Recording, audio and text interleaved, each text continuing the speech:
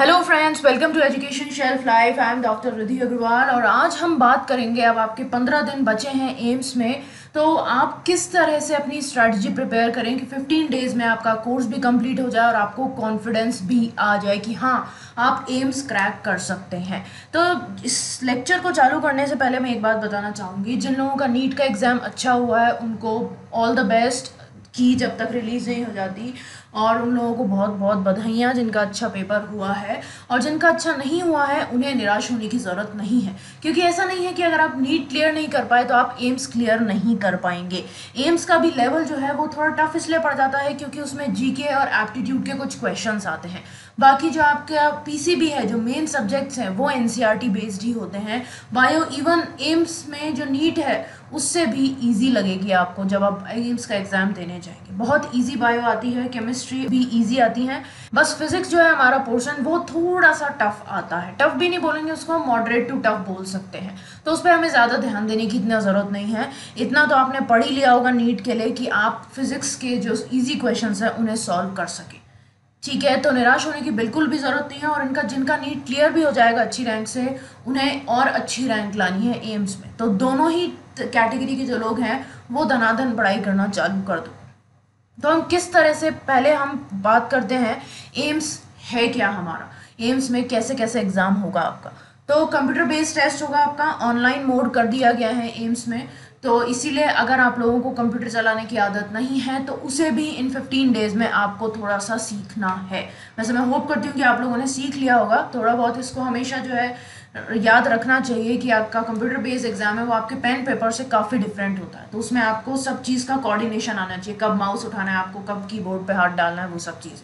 दूसरी तरफ़ एमसीक्यू होंगे सारे नेचर ऑफ़ क्वेश्चन चाहे वो असर्शन रीजनिंग हो, चाहे वो फिजिक्स के हों, चाहे केमिस्ट्री के हों, चाहे बायो के हों, और चाहे वो हमारे जीके के ही क्वेश्चन क्यों ना हो।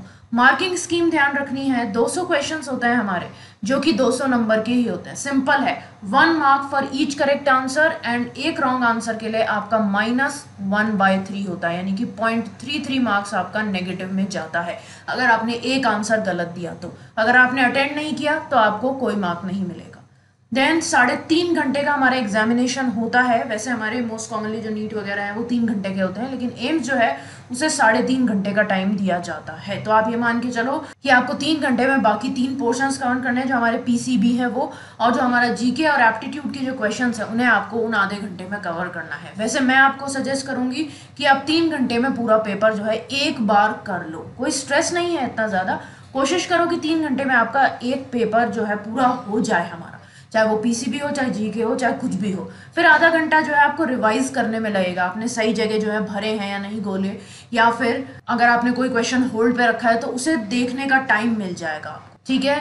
टोटल नंबर ऑफ़ क्वेश्चंस कितने हैं हमारे? 200 उसका भी मैं अभी डिस्ट्रीब्यूशन बताऊँगी कौन कौन से कितने कितने क्वेश्चंस किस किस सब्जेक्ट से आते हैं। और जो एग्जामिनेशन का मीडियम है या तो इंग्लिश में आएगा आपका पेपर या फिर हिंदी में आएगा जो भी आप ऑप्ट करते हैं। ठीक है? सो so, अब देखते हैं हम डिस्ट्रीब्यूशन कैसा रहता है मार्क्स का और क्वेश्चन का। तो मार्क्स का भी सेम डिस्ट्रीब्यूशन है और क्वेश्चंस का भी सेम डिस्ट्रीब्यूशन है क्योंकि एक क्वेश्चन एक मार्क का है। तो फिजिक्स में आपके 60 क्वेश्चंस आते हैं केमिस्ट्री में भी 60 और बायोलॉजी में मिला के 60 क्वेश्चन आते हैं जूलॉजी और बॉटनी के। फिर जनरल नॉलेज जो है, उससे हमारे 10 क्वेश्चन आते हैं, जिसमें जी के करंट अफेयर्स वगैरह आती है, आपकी हिस्ट्री पॉलिटी जोग्राफी जो है इंडिया की, वो सब। और एप्टीट्यूड और लॉजिकल थिंकिंग के जो क्वेश्चन हैं, वो आते हैं आपके दस। एप्टीट्यूड के कैसे? जैसे सपोज़ करो आपको बोल दिया कि एक जना जो है वो सीधे जाता जा रहा है या वेस्ट में जा रहा है, दस किलोमीटर, फिर वो नॉर्थ में मुड़ गया तो उसने पाँच किलोमीटर चले या फिर फिर वो ईस्ट में मुड़ गया, उसने दस किलोमीटर चले तो स्टार्टिंग पॉइंट से वो कितना दूर है? इस टाइप के क्वेश्चन आते हैं जो कि बहुत ही ईजी होते हैं।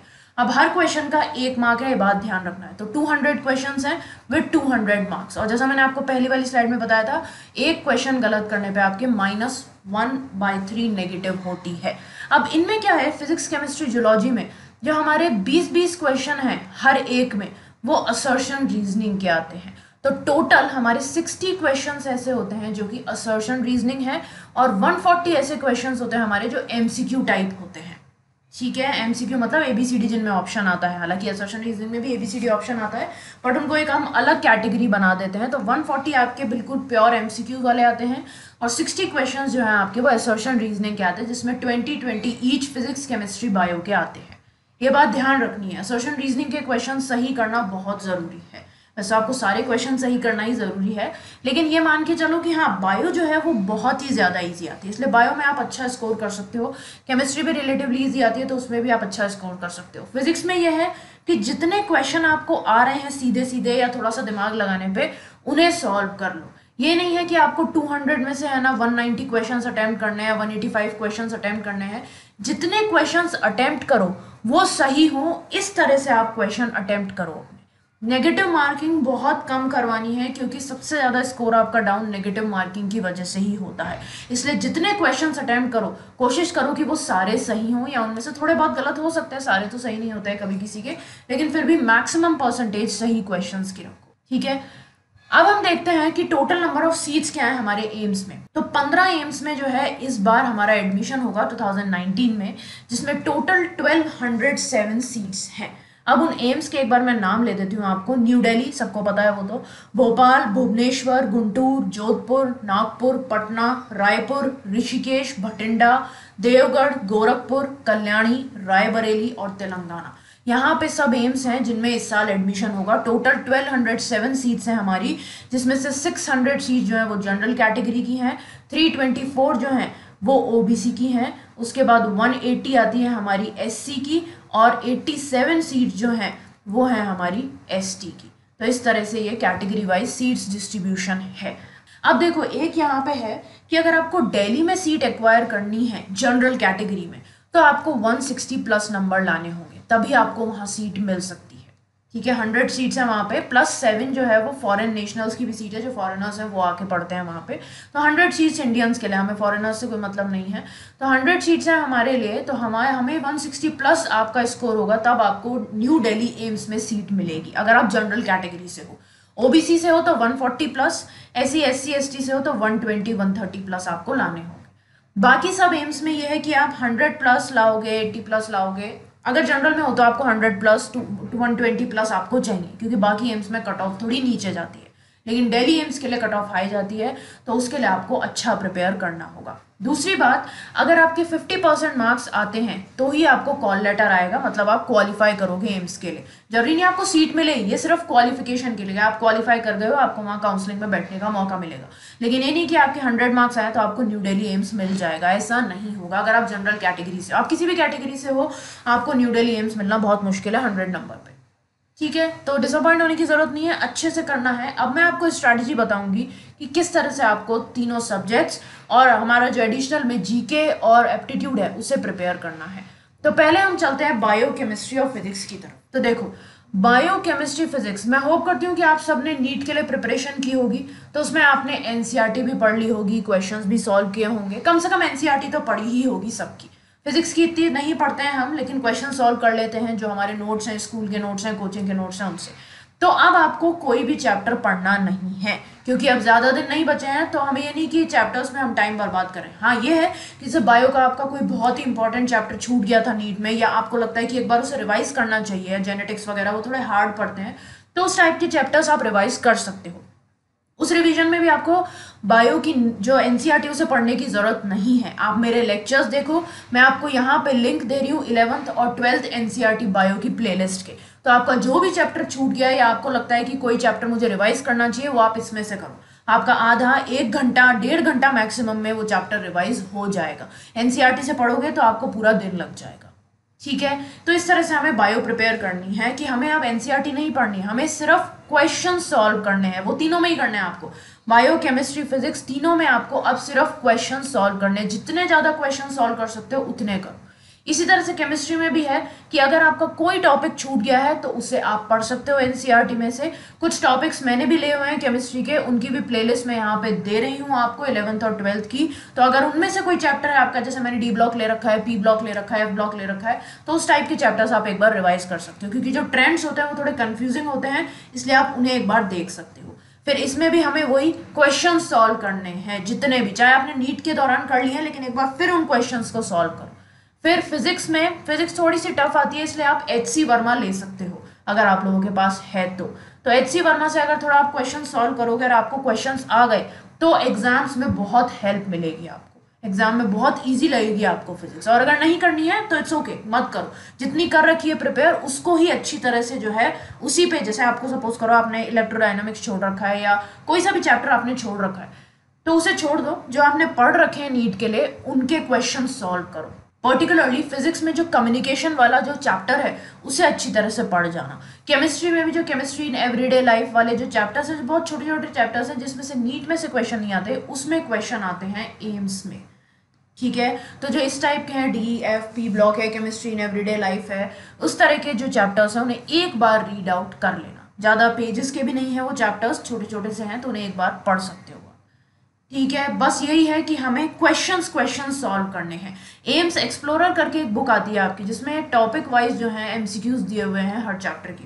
उसे सॉल्व करो। जितने ज़्यादा हो सके सॉल्व करो। और प्रीवियस ईयर्स के पेपर्स जो हैं, उन्हें सॉल्व करो। कम से कम दस साल के पेपर्स तो आपको सॉल्व करने ही करने हैं, कम से कम।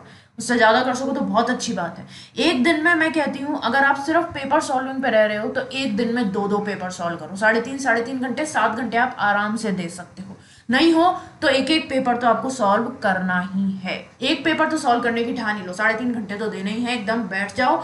कीबोर्ड वगैरह अपने बंद कर लो, कोई नॉइस पोल्यूशन नहीं, कुछ नहीं, मम्मी से कहो, मम्मी बाहर जाओ, आप मेरे कमरे में मत आना। सब कुछ पहले ही करके बैठो। साढ़े तीन घंटे आपको वहाँ सिटिंग देनी है, जब भी आप एम्स क्रैक कर पाओगे।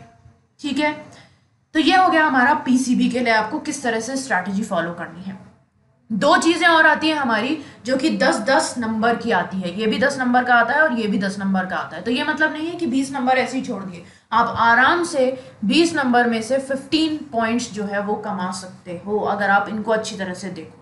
इसके लिए चिंता करने की कोई ज़रूरत नहीं है। कल से मैंने जीके की सीरीज़ चालू की है।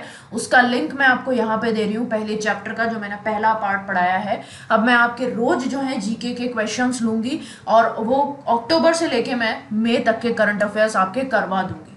ठीक है? तो इसलिए टेंशन लेने की ज़रूरत नहीं है। और एडिशन में अगर आप और करंट अफेयर्स देखना चाहते हो तो आप मेरे चैनल पे विज़िट करो। मेरे चैनल पे प्लेलिस्ट में आपको हर एक महीने के अलग अलग करंट अफेयर्स के वीडियो मिल जाएँगे। अप्रैल तक के आपको सारे कंपाइलेशन मिल जाएँगे। मैं तो अभी चल ही रहा है तो उसके तो मैं रेगुलर डाल ही रही हूँ। बाकी प्लेलिस्ट में आपको जनवरी फेबर मार्च अप्रैल इन सब के भी मिल जाएँगे। इवन 2018 के लास्ट के भी आपको वीडियोस 2018 के सारे वीडियोस आपको मिल जाएँगे। और अगर उनको आप, आपको उनकी पीडीएफ डाउनलोड करनी है तो आप मेरी वेबसाइट पे विज़िट कर सकते हो। मेरी वेबसाइट पे जैसे ही आप जाओगे फ्री पीडीएफ नाम का एक सेक्शन मिलेगा आपको। उस पर आप फ्री पीडीएफ वाले पे क्लिक करोगे तो आपको पहला ही जो है एक बटन मिलेगा जिसपे करंट अफेयर्स कंपाइलेशन लिखा होगा। तो उसमें आप जाओगे तो आपको कंपाइलेशन मिलेंगे 2018 2019 के। तो आप 2018 के कंपाइलेशन जितने भी महीनों के आपको डाउनलोड करने हैं जनवरी से दिसंबर तक के हैं, और 2019 के जनवरी से अप्रैल तक के कंपाइलेशन मैंने वहाँ प्रोवाइड करवा तो आप वहाँ जाके उन न्यूज़ को पढ़ भी सकते हो। ठीक है, बाकी मैं रोज़ आपके जीके के जो है करंट अफेयर्स लूँगी, जिससे आपको जो है बहुत अच्छी प्रैक्टिस हो जाएगी। अगर आप सिर्फ़ वो भी पढ़ जाओगे तो आपके बहुत अच्छे नंबर आएँगे। दूसरी बात, अगर आप लोग कहोगे तो मैं एप्टीट्यूड के भी क्वेश्चंस का सीरीज़ जो है वो ले लूँगी। लेकिन उसके लिए आप लोगों को कमेंट सेक्शन में मुझे बताना होगा कि आपको एप्टीट्यूड की प्रिपरेशन करनी है या नहीं। तो मैं उसके भी लेक्चर्स आपके ले सकती हूँ इन फिफ्टीन डेज़ में। आपकी वो भी प्रिपेयर हो जाएगी। जीके के मैं ले रही हूँ तो जीके के जो मेरे लेक्चर्स हैं, उन्हें देखना मत भूलना, बहुत इंपॉर्टेंट है। अगर आप लोगों को उसकी पीडीएफ चाहिए तो आप मुझे कमेंट सेक्शन में बता देना, मैं आपको जीके की पीडीएफ भी अवेलेबल करा दूँगी। ठीक है? सो ये थी हमारी पूरी स्ट्रैटेजी जिस तरह से हमें एम्स क्रैक करना है। चिंता करने की कोई बात नहीं है, चाहे नीट का पेपर अच्छा हुआ हो, चाहे नीट का पेपर बुरा हुआ हो, हमें उससे कोई मतलब नहीं है। नए सिरे से अपनी प्रिपरेशन चालू करनी है एम्स क्रैक करने के लिए, 2019 का। और अगर आप लोग 2020 के लिए एम कर रहे हो तो वो अलग बात है। उसके लिए भी मैं स्ट्रैटेजी अलग से लेके आऊँगी। जैसे ही हमारा एम्स का एग्ज़ाम खत्म होगा नीट 2020 और एम्स 2020 के लिए जो बच्चे टारगेट कर रहे हैं, उनके लिए भी मैं पूरे फुल ईयर की स्ट्रैटेजी लेके आऊँगी, किस तरह से आपको पूरे एक साल प्रिपेयर करना है। और बस एक ही चीज़ बोलना चाहूँगी, कुछ भी पैनिक होने की ज़रूरत नहीं है एग्ज़ाम के टाइम पे, ठीक है? जितने क्वेश्चंस आ रहे हैं, उतने क्वेश्चंस सॉल्व करो। ज़्यादा क्वेश्चन सॉल्व करने की ज़रूरत नहीं है कि आउट ऑफ़ द वे जाके आप क्वेश्चन सॉल्व कर रहे हो। एक और चीज़ बतानी थी मुझे एसर्शन रीजनिंग आप कैसे सॉल्व करोगे? एसर्शन रीजनिंग के क्वेश्चन ऐसे आते हैं, जैसे एसर्शन में आपको एक पॉइंट दे दिया और फिर रीजनिंग में आपको एक पॉइंट दे दिया। अब आपको ये बताना है कि असर्शन रीजनिंग दोनों करेक्ट है, चार ऑप्शन आते हैं। एक में आता है दोनों करेक्ट है और रीजन जो है, वो करेक्टली एक्सप्लेन करता है हमारे असर्शन को। दूसरा ऑप्शन आता है एसर्शन रीजन दोनों करेक्ट हैं, लेकिन रीजन जो है, वो करेक्टली एक्सप्लेन नहीं करता है एसर्शन को। तीसरा जो हमारा ऑप्शन आता है, वो है एसर्शन सही है रीजन गलत है। और चौथा ऑप्शन आता है एसर्शन फॉल्स है और हमारा रीजन सही है। तो ये जो दोनों लास्ट के ऑप्शन है, ये तो आप इजीली सॉल्व कर सकते हो, क्योंकि आपको सेंटेंस बेस पता चल जाएगा कि असर्शन सही है या रीजन सही है। लेकिन जिसमें दोनों सही हैं तो आप ए और बी में से कैसे टिक मारोगे, वो मैं आपको बता देती हूँ। जैसे एक क्वेश्चन मैं पूछती हूँ आपसे बायो का ही है एसोर्शन रीजन का। पहला है एसोर्शन क्या है इसका? When the availability of the essential nutrient falls below the critical concentration deficiency symptoms appear तो जब अवेलेबिलिटी असेंशियल न्यूट्रिएंट्स की एक क्रूशियल कॉन्सेंट्रेशन या क्रिटिकल कॉन्सेंट्रेशन से नीचे जाती है तो डेफिशिएंसी सिम्टम्स आने लगते हैं। रीजन क्या है इसका? Critical concentration is that limited concentration of the essential element below which growth of the plant is reduce तो रीजन में क्या दे रखा है कि क्रिटिकल कॉन्सेंट्रेशन वो लिमिटेड कॉन्सेंट्रेशन है असेंशियल एलिमेंट की, जिसके नीचे जो प्लांट की ग्रोथ है, वो रिड्यूस हो जाती है।